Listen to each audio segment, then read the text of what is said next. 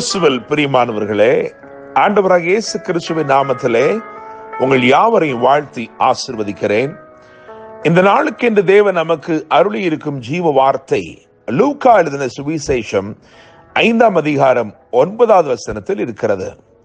அவர்கள் திரளான மீன்களை பிடித்தது நிமித்தம் அவனுக்கும் அவனோடே கூட இருந்த யாவருக்கும் பிரமிப்புண்டானபடியினால் அப்படி சொன்னான்.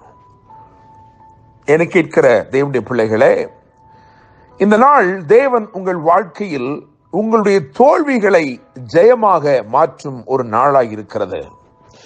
திரளான நன்மைகளை உங்களுக்காக தேவன் அகப்பட பண்ணும் ஒரு நாள் இந்த நாள்.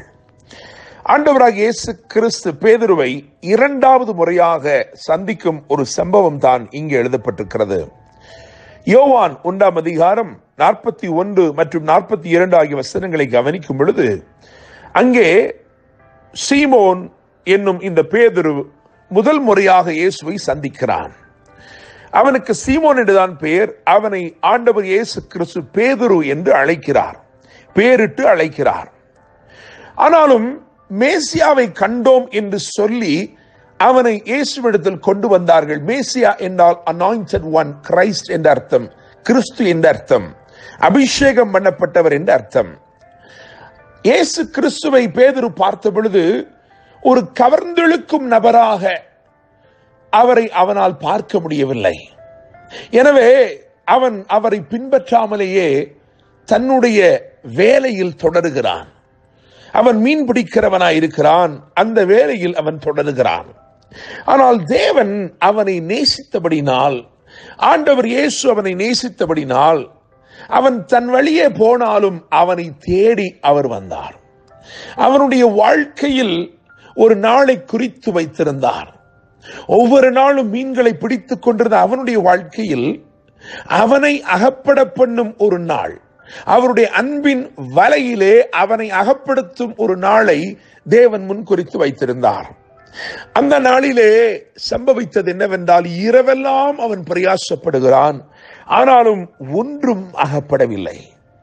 இரவு முழுவதும் அவனுடைய பிரயாசங்கள் எல்லாம் தோல்வியும் வருத்தமுமாயிருந்தது அவனுடைய சிந்தனை அவனை நடத்தின எல்லா ஆழங்களுக்குள்ளும் அவன் சென்று பார்த்து விட்டான். அவனுக்கு வெறுமையே மிஞ்சி இருந்தது அவன் மிகுந்த வேதனையோடு விசனத்தோடு வலைகளை அலசி கொண்டிருந்தான். அவன் படவுகளை ஒதுக்கி வலைகளை அலசி கொண்டிருந்த பொழுது காலையில் சூரியன் உதித்து வருவது போல் ஆண்டவர் இயேசு கிறிஸ்து அவன் இருக்கும் இடத்திலே அவனை தேடி வந்தார் அவன் எங்கே தோற்று போய் நின்றானோ எங்கே வெறுமையாய் நின்றானோ எங்கே தனிமையாய் நின்று கொண்டிருந்தானோ அங்கே அவனை அவர் தேடி வந்தார் என்னை கேட்டுக்கொண்டிருக்கிற தேவனுடைய பிள்ளைகளே ஒருவேளை நீங்களும் தோல்விகளோடு கூட காணப்படலாம் தனிமையிலே புலம்பிக் கொண்டிருக்கலாம் வெறுமையோடு நின்று கொண்டிருக்கலாம். உங்களை இயேசு தேடி வருகிறார். ஒருவேளை இயேசு கிறிஸ்து உங்களுக்கு ஒரு கவர்ந்திழுக்கும் நபராய் தோன்றவில்லை என்றாலும் இன்றைக்கு அவர் உங்களை தேடி வருகிறார். நீங்கள் அவரை வெறுத்தாலும் அவர் உங்களை நேசிக்கிறவராய் இருக்கிறார். அவர் உங்களை தேடி வருகிறவராய் இருக்கிறார். பேதருடைய வாழ்க்கையிலே அன்றைக்கு கூட்டாளிகளும் இருக்கிறார்கள் கூலியாட்களும் இருக்கிறார்கள்.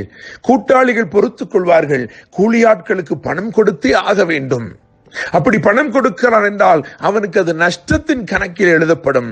ஆயினும் பேதரு நஷ்டம் அடைவதை இயேசு அனுமதிக்கவில்லை. இயேசு அவனை வாழ்க்கையிலே குறுக்கிட்டார். அன்றைக்கு அந்த இடத்தில் வந்து அவனுடைய படகை கேட்டு வாங்கி தோற்று போன ஒருவனுடைய படகை கேட்டு வாங்கி அந்த வெறும் படகை நிரப்பும்படிக்கு அதிலே ஏறி பிரசங்கம் பண்ண ஆரம்பித்தார்.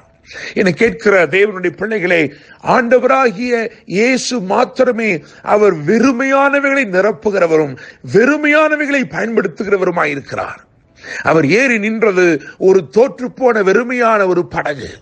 அந்த படகு பேதரவுக்கு கை கொடுக்கவில்லை ஆனால் இயேசு அதில் ஏறி நின்று பிரசங்கம் பண்ணினார்.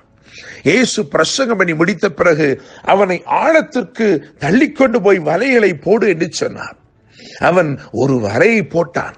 ஆண்டவரே இரவெல்லாம் பிரயாசப்பட்டோம் இங்கே ஒன்றும் இல்லை என்று பாரும் என்று சொல்லும் அளவிற்கு ஒரே ஒரு வலையை தான் போட்டான். அவரோ வலைகளை போடுங்கள் என்று சொன்னார். அவனோ ஒரே ஒரு வலையை போட்டான்.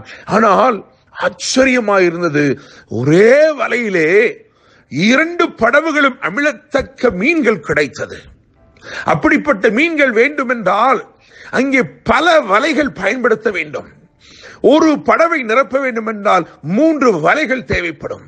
ஆனால் ஒரே வலையை கொண்டு இரண்டு படவுகளும் அமிழத்தக்கதான ஒரு நிறைவை ஆண்டவர் கொடுத்தார். எனவேதான் ஆச்சரியத்தினாலே பிரம்மை கொண்டு அவர்கள் சொன்னார்கள் திரளான மீன்களை பிடித்த நிமித்தம் அவனும் அவரோட கூட இருந்த யாவரும் பிரமிப்பு உண்டானபடினால் அப்படி சொன்னார்கள். என கேட்கிற தேவனுடைய பிள்ளைகளே இந்த நாள் உங்கள் வாழ்க்கையிலே பிரமிப்புண்டாகும் அற்புதங்களை அவர் செய்ய போகிறார்.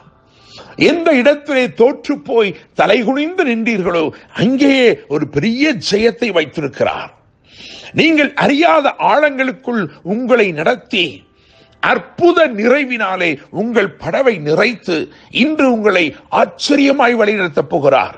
இன்று உங்களை அவர் ஆசீர்வதிக்கப் போகிறார் உங்களை மகிழ்ச்சியாக்கப் போகிறார். என்னை கேட்கும் தேவனுடைய பிள்ளைகளே நாம் வாசித்த வசனத்தை கவனியுங்கள். அவர்கள் திரளான மீன்களை பிடித்தது நிமித்தம்.